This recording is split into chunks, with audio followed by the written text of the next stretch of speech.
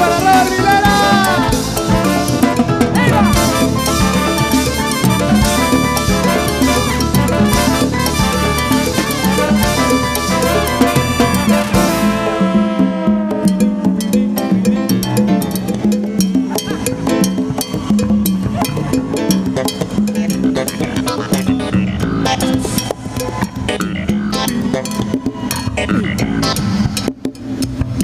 Ahora le toca a Luis Enrique en el timbal.